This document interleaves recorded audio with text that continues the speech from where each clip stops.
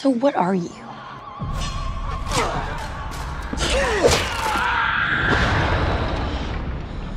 Twelve missing people in the last two months. Now, half a dozen dismembered bodies, their fingers conspicuously absent. Following me? Yeah, I killed that guy. Oh, wow. Why? I wanted to eat him. What? Well, parts of him. Parts of him? The end is nigh. No. Every generation says that, but every generation is wrong. That's kind of different. Maybe we can make a trade. You're going to tell me everything I need to know about her. We should go. You think it takes some time to realize you've done the worst thing in your life? No, no, stay I'm sorry. What did you do?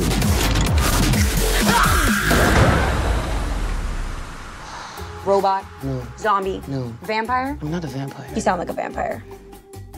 I don't like you.